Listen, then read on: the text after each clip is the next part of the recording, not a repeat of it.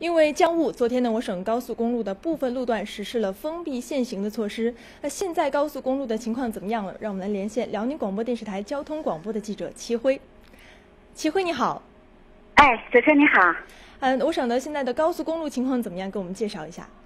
呃，截止到目前，因为受到降雾的影响，省内是有十五条高速公路采取了交通管制，其中沈阳、铁岭、辽阳、抚顺还有阜新这五座城市境内所有的高速公路都是封闭的。锦州境内呢，现在是丹西高速的锦州西到班吉塔，抚银高速的沟帮子到北镇站无法通行。葫芦岛境内现在除了万家站之外，其余的站口全都是封闭的。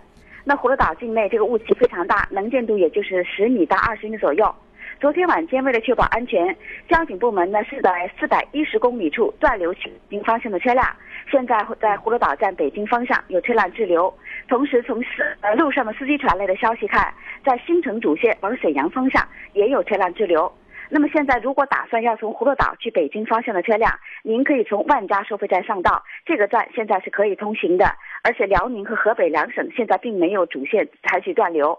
另外，在这里呢，还要特别提示今天打算去吉林方向的司机朋友，吉林高速因为大雾，在昨天晚间也封闭交通，现在仍然是大雾弥漫，两省交界现在是无法通行的。